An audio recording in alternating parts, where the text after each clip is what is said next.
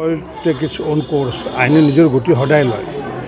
গতিকে আইনৰ বিষয়টোৰ উপৰিও এই ক্ষেত্ৰত আমি এতিয়া যদি সজাগ যদি নহওঁ আমি বিভিন্ন সময়ত আমি দেখা পাওঁ যে কিছুমান আমি সৰু সুৰা কথা লৈ পেলাই যি আমাৰ মাজত দ্বন্দ্ব থাকে তাৰ বিপৰীতে এইবোৰ ইছ্যু লৈ পেলাই আমি দেখিছোঁ যে যিসমূহ জাতীয় সংগঠন এই জাতীয় সংগঠনবিলাকে যিটো সৰব হ'ব লাগিছিলে আজি যেতিয়া কোনোবাক যদি মূৰ ফালি দিলে বিভিন্ন জাতীয় সংগঠনে সৰব হয় সেইটো ভাল পাইছোঁ। কিন্তু যেতিয়া কাৰোবাক ধৰ্ষণ কৰে ধৰ্ষণ কৰাৰ সময়ত কিন্তু যি প্ৰতিবাদ হ'ব লাগিছিলে অসমত কিন্তু সেই প্ৰতিবাদ জাতীয় সংগঠনবিলাকত দেখা নাপাওঁ। এইটো আমাৰ দুৰ্ভাগ্যজনক কথা। আৰু এনেকুৱা যদি প্ৰক্ৰিয়া চলি থাকে তেতিয়াহ'লে আগন্তুক দিনত কিন্তু সমাজৰ গতি অন্য পথে গতি ল'ব। গতিকে মই সেইকাৰণে সকলো জাতীয় সংগঠনকে আহ্বান জনাওঁ।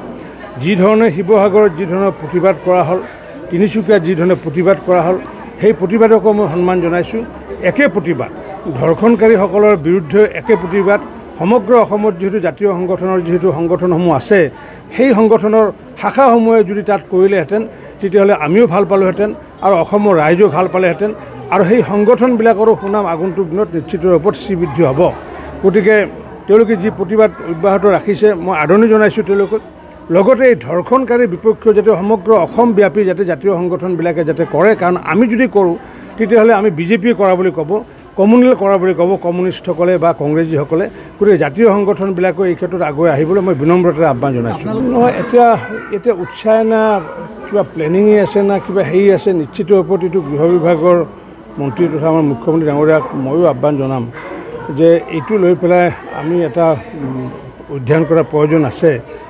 কাৰণ কিয় হঠাৎ এই যে ধৰ্ষণৰ যি ঘটনা ঘটি আহিছে এই ধৰ্ষণৰ ঘটনাটো হয়তো ক'ৰবাত নেপথ্যত হয়তো কিবা কাহিনীও থাকিব পাৰে। কিনো আছে?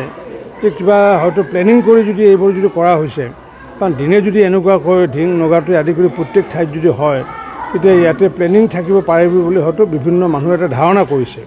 গতিকে সেই ধাৰণাটো সত্য হয় নে নহয় তাক বিচাৰ কৰাৰ কাৰণে মই মাননীয় গৃহমন্ত্ৰী ডাঙৰীয়াকো আহ্বান জনাইছোঁ অসম চৰকাৰৰ আমাৰ অসম আৰক্ষীকো আহ্বান জনাইছোঁ সেইটো ছাইডো সমান্তৰালভাৱে। তেওঁলোকে যাতে সেইটো যাতে পৰীক্ষা নিৰীক্ষা কৰে তাৰ কাৰণে আহ্বান জনাইছোঁ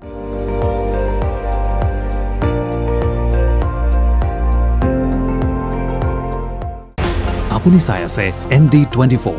সৰ্বশ্ৰেষ্ঠ নহয় সৰ্বোত্তমৰ দৌৰ